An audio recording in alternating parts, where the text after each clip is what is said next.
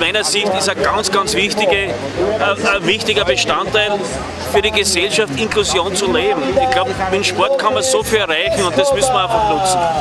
Das ist etwas Besonderes. Wenn man diesen Athletinnen und Athleten zuschaut, welche Freude da aus den Augen hervorleuchtet, wenn man sieht, wie die mit vollem Einsatz, mit, wirklich mit Elan dabei sind und welchen Willen sie haben.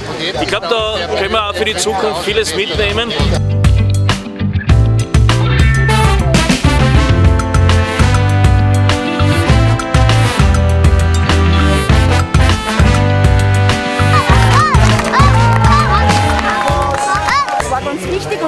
Vor Ort sind und tagtäglich einfach ja, mit beitragen und heruntergehen können, dann ist es uns ganz wichtig und die Kinder sind wirklich mit Leib und.